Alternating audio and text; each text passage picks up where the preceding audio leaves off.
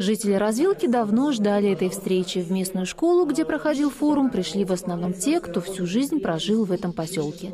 Проблем накопилось предостаточно, а потому после краткой вступительной речи посыпались вопросы. Задавали их в основном представители советов домов. Каждый хотел узнать, будут ли проводиться какие-либо работы в их доме. Генеральный директор управляющей компании ЖКХ отметил, что в этом году запланировано отремонтировать в поселке 45 подъездов. Если в прошлом году э, было освоено здесь э, всего около 5 миллионов э, проведено работ на эту сумму, то сейчас мы более 30 миллионов заложили.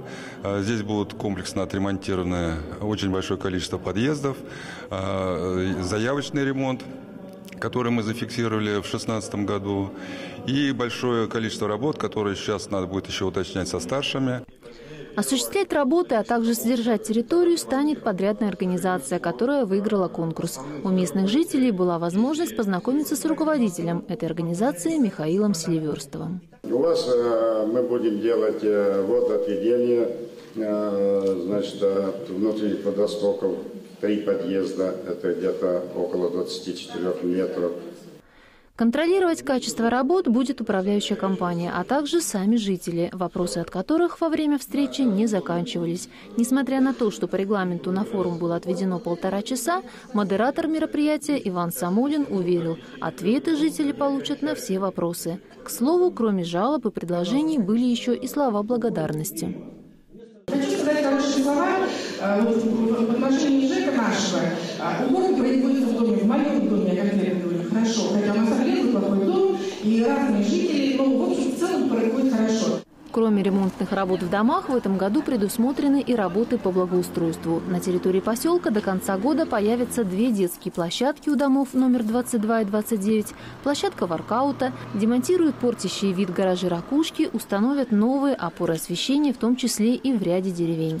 Каждый неравнодушный житель развилки хочет, чтобы его дом и двор стал лучше.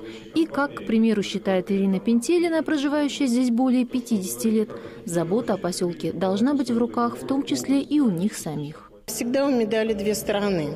Одна сторона э, варварства со стороны жителей, кто-то кидает конкретно этот мусор. То есть сами То есть, жители? Сами жители, не мусорить. Это одна сторона медали. Вторая сторона медали. Если люди призваны убирать этот мусор, они просто обыкновенным образом должны это выполнять.